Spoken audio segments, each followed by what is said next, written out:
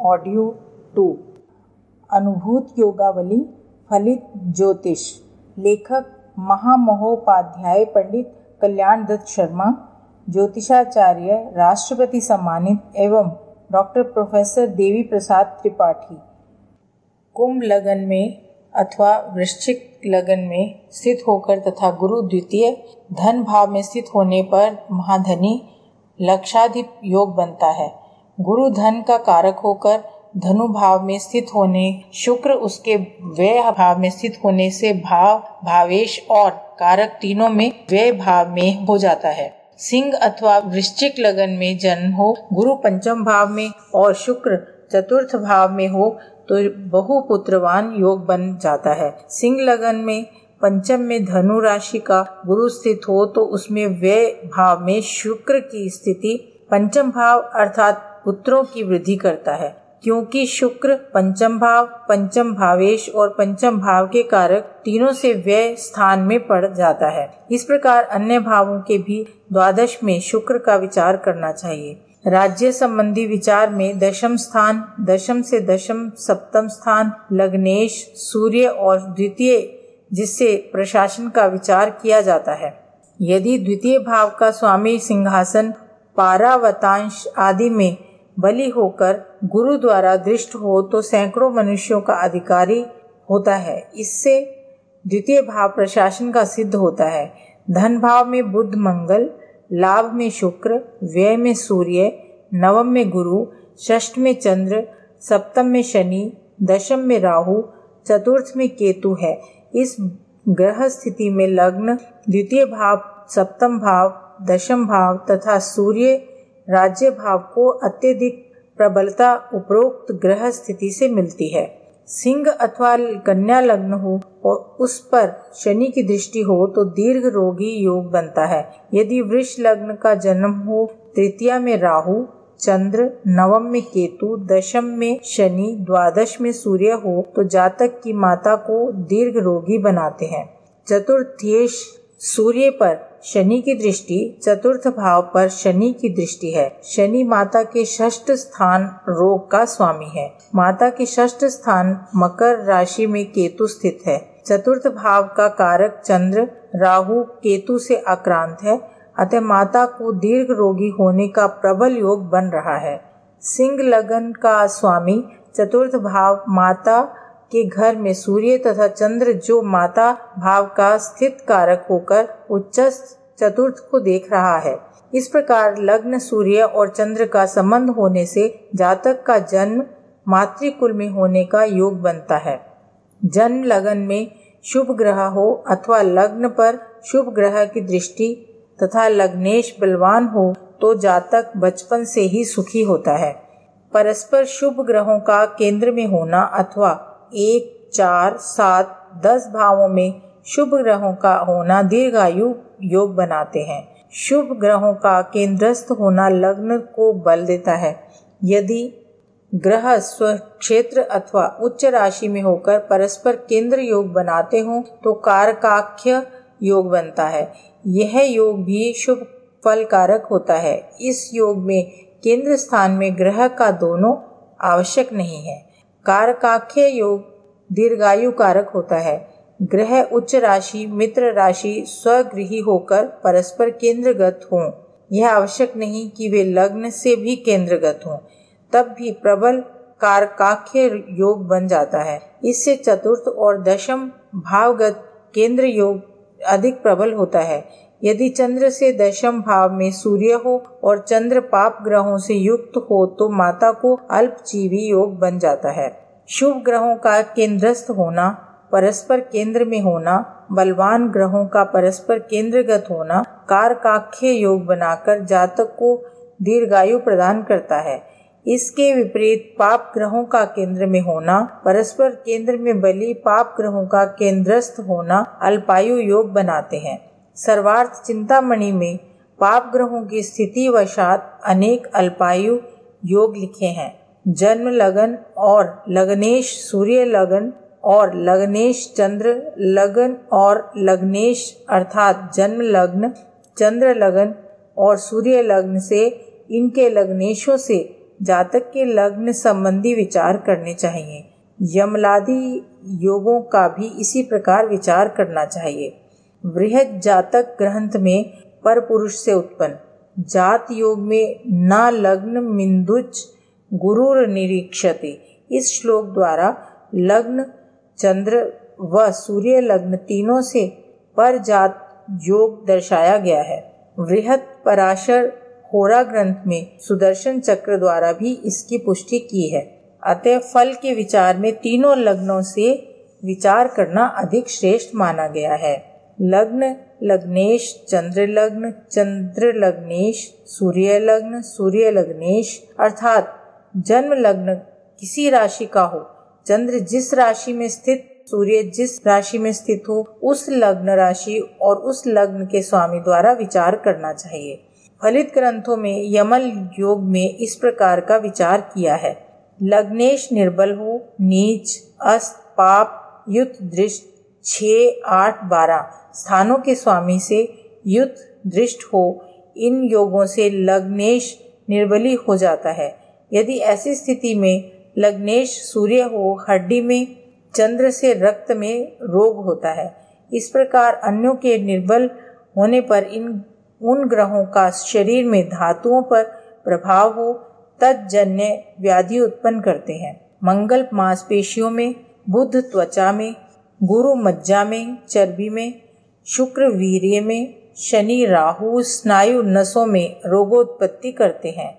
भाव यह है, जब कोई ग्रह छ आठ, बारह स्थान में या इनके भावेश की युति दृष्टि, नीच, अस्तंगत, पाप दृष्ट युत हो, शुभ युति दृष्ट न हो तो अपने धातु के प्रकोप से व्याधि उत्पन्न करता है। यदि लग्नेश लग्न में हो और पापांक्रांत हो तो लग्नस्थ राशि द्वारा अंग का विचार कर रोग का ज्ञान करना चाहिए।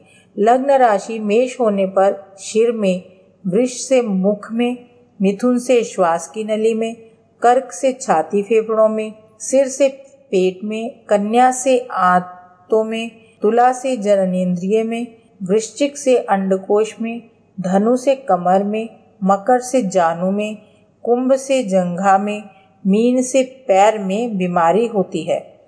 लग्न में चंद्र स्व क्षेत्री हो, वह मंगल और सूर्य से दृष्ट हो तो मनुष्य कुबड़ा होता है।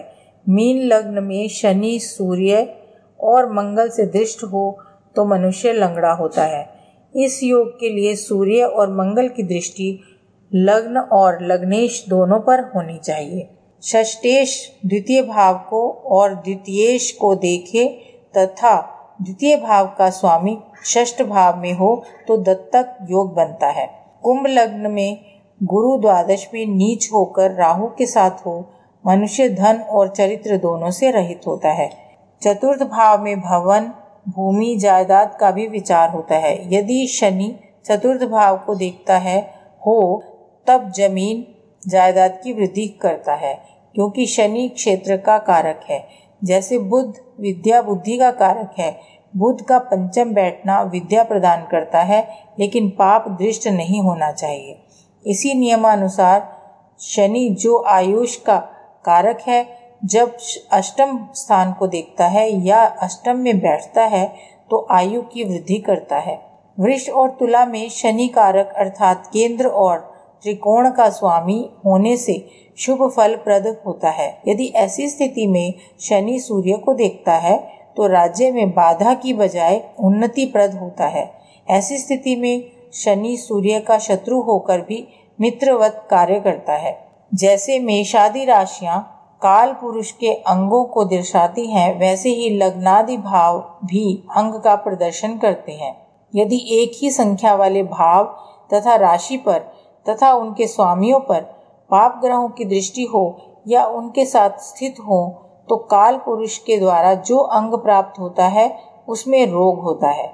जैसे किसी भी लग्न का जन्म हो, यदि चतुर्थ भाव या चतुर्थेश या चंद्र या कर्क राशि में चारों पाप युक्त दृष्ट हो तो छाती संबंधी नियोनिया, क्षय इत्यादि रोग होते हैं। भावों में लग्न से शिर, द्वितीय से मुख तृतीय से श्वास की नली, कंठ तथा कंधे, चतुर्थ से छाती, पंचम से पेट, षष्ठ से अंतड़िया, सप्तम से गुप्तेंद्रिय, अष्टम से अंडकोश, नवम से कमर, दशम से जानू, एकादश से जंघा और द्वादश से पैरों का विचार करना चाहिए। जैसे पंचम राशि सिंह, सूर्य, पंचम भाव, पंचमेश, इन सब पर पाप दृष्टि या इनके साथ पाप ग्रहों के योग से उदर व्याधि होती है। तुला लग्न में चंद्र दशम में, शनि अष्टम में तथा मंगल तृतीय भाव में हो तो छाती से संबंधित रोग होता है, क्योंकि दशम में कर्क राशि में चंद्र दो पाप ग्रहों में से देखा गया है।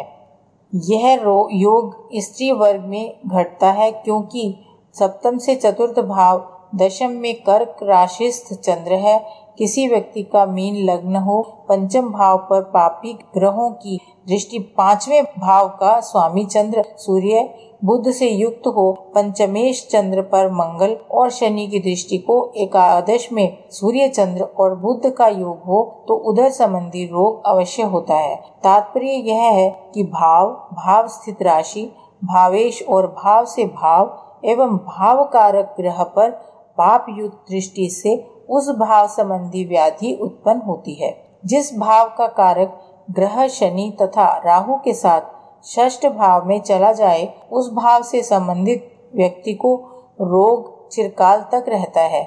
गुरु, शनि तथा राहु के साथ हो तो पुत्र को असाध्य रोग होता है। गुरु पंचमेश भी सिंह वृश्चिक लग्न में होता है, अतः ऐसी स्थिति में तो निश्चित ही पुत्र असाध्य रोग में ग्रसित रहेगा। रोग का निर्णय पंचम भाव को लग्न मानकर करना चाहिए। शनि और राहु दोनों ही मंद गति ग्रह हैं, अतः दीर्घ काल तक रोगी बनाए रखते हैं। मकर लगन में, मेष में, चतुर्थ में बुद्ध माता को रोगी बनाता है। बुद्ध षष्टेश होकर मातृभाव में पड़ता है तथा माता भाव से भी षष्टाधिपति कन्या का स्वामी बन जाता है। मृत्यु के विचार करने में लग्न और अष्टम दोनों भाव से विचार करना चाहिए। शास्त्रकारों ने लिखा है, जब अष्टम व लग्न के स्वामी निर्बल हो, जब षष्टेश तथा मंगल से युक्त हो, तब युद्ध में मृत्यु होती है। नवम भाव में सूर्य चंद्र स्थित होने पर पिता की मृत्यु जल में होती है। लग्नाधिपति निर्बल होकर, नीच का होकर सूर्य से युक्त हो अथवा पाप युक्त दृष्ट चतुर्थ में हो तथा निर्बल जलीय ग्रहों से चतुर्थ भाव का स्वामी का योग हो तो जल द्वारा पिता की मृत्यु होती है। तुला लग्न में, शुक्र लग्न में हो तथा मंगल के साथ हो तो अग्नि अस्त्र शस्त्रादि से मृत्यु प्रदान करता है।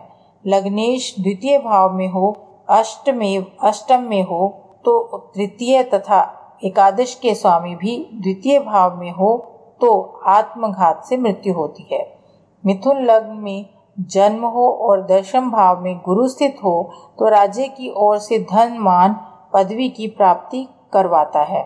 आजीविका के विचार में एक, दो, दस, ग्यारह भाव से तथा इनके स्वामियों से विचार करना चाहिए। एक, दो, दस, ग्यारह भावों के स्वामियों पर राहु, सूर्य तथा शनि का प्रभाव हो, अर्थात इन भावों के स्वामी के साथ में ये ग्रहों हो अथवा इन्हें देखते हो, मनुष्य डॉक्टर बनता है। कर्क लग्न में चंद्र, धन में सूर्य, व्यय में मंगल, गुरु, षष्ठ में शनि, दशम में राहु, चतुर्थ में केतु स्थित हो। यहाँ द्वितीय भाव पर सूर्य का दशम पर राहु का, दशमाधिपति पर शनि का लाभ स्थान पर सूर्य का, केंद्रीय प्रभाव लाभाधिपति का, सूर्य तथा राहु का प्रभाव तथा शनि द्वारा दृष्ट होना एवं लग्न लग्ना अधिपति राहु से केंद्र में होना, सूर्य, शनि, राहु डॉक्टरी सूचक ग्रहों का प्रभाव होने से डॉक्टर बनने का योग बना। कुंभ लग्न में सूर्य, चंद्र, बुध, द्वादश में शुक्र, चतुर्थ में मंगल, दशम में गुरु, तृतीय में शनि राहु और नवम में केतु स्थित होने पर एक, चार, सात, दस भाव और भावाधिपति सूर्य, शनि, राहु के प्रभाव में होने से डॉक्टर बनने का योग बनता है। सिंह लग्न में सूर्य, द्वादश में बुद्ध शुक्र, एकादश में राहु, पंचम में केतु, षष्ठ में गुरु, तृतीय में शनि और नवम मंगल स्थित है। इसमें भी एक, दो, दस, ग्यारह भाव तथा भावेश सूर्य शनि राहु के प्रभाव में होने से डॉक्टर बनने का योग बनता है। तुला लग्न में चतुर्थ में सूर्य, चंद्र पंचम में शनि शुक्र, बुध षष्ठ में मंगल दशम में गुरु और नवम में राहु, तृतीय में केतु, इस ग्रह स्थिति एक, दो, दस, ग्यारह भाव, व भावेश सूर्य शनि राहु के प्रभाव में है। तुला लग्न में शनि धन में सूर्य, बुध शुक्र, सप्तम में चंद्र मंगल नवम में गुरु षष्ठ में राहु और व्यय में केतु स्थित है। मीन लग्न में राहु तृतीय में शनि षष्ठ में बुध, सप्तम में अष्टम में सूर्य चंद्र, नवम में शुक्र, केतु दशम में मंगल लाभ में गुरु स्थित है। चंद्र से षष्ठ, सप्तम, अष्टम स्थानों में शुभ ग्रह स्थित होने पर अधियोग बनता है, जो विशेष धन और मान योग है। यहाँ चंद्र पर तथा परवर्ती चंद्र से द्वितीय और द्वादश पर शुभ ग्रह की दृष्टि पड़ती है। जिस भाव से अष्टम में राहु, उसी भाव से एकादश स्थान में शनि स्थित हो तो स्नायु रोग अधरंग उत्पन्न होता है। गुरु और बुद्ध वाणी के कारक तथा दो पाँच भाव वाणी के मानते हैं। अतः दो पाँच भाव व बुद्ध गुरु निर्बल हो, पाप युक्त दृष्ट हो, तब मुख योग बनता है। वृक्ष लग्न में जन्म हो, बुद्ध गुरु द्वितीय भावस्थ होकर मंगल और शनि से दृष्ट हो तो मूक योग बनता है। षष्ठ भाव में राहु स्थिति होना मलेच्छ व्यक्तियों में से संपर्क बनता है। वृक्ष लग्न में चंद्र राहु के साथ षष्ठ भाव में स्थित होने से मलेच्छ व्यक्तियों से संपर्क बनाता है।